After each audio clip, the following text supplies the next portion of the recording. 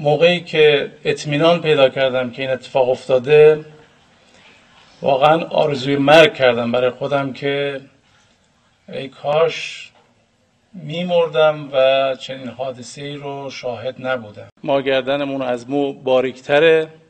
همه مسئولیت این کار رو میپذیریم و هر گونه تصمیمی مسئولین بگیرن ما مطیع اجرای اون هستیم.